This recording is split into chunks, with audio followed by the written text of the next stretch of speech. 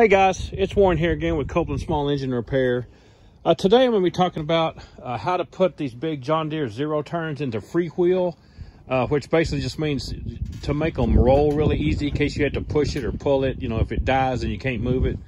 Uh, I also need to let you know if you ever pull a zero turn or a rod mower with a vehicle like a car or a truck, you need to pull it very, very slowly because uh, if you pull it too fast, you're going to damage the transmission. So just be sure you don't pull them too fast. Uh, but if you ever, this thing ever breaks down and you need to roll it or push it by hand, uh, you need to be able to put it in freewheel so it'll roll really easy. And if you look on here, here's the pump. This is the hydraulic pump uh, for the transmissions on the rear wheels.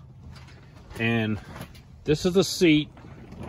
That's the front of the mower and you just look down at this pump and on each side of this pump there's a bolt sticking out. It's like a bolt with a little tiny head on it and there's a big nut around the outside of it.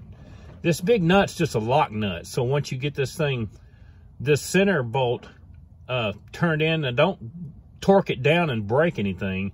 Just get this thing snug turn it in until it's snug and then you're going to put a wrench on this and tighten it down. And it's just a lock to keep this from vibrating and coming back out while you're using it.